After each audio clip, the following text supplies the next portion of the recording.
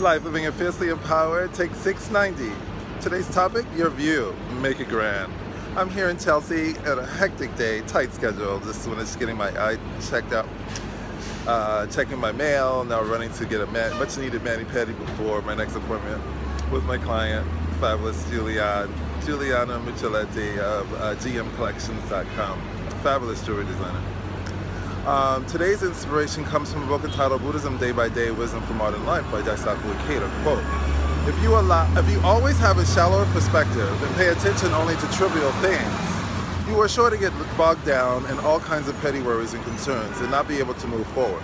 Even relatively minor hurdles or problems will seem insurmountable. But if you look at life from a broad viewpoint, you naturally spot the way to solve any problem you may confront. This is true when we consider our own personal problems as well as those of society and even the future of the entire world. Isn't that amazing?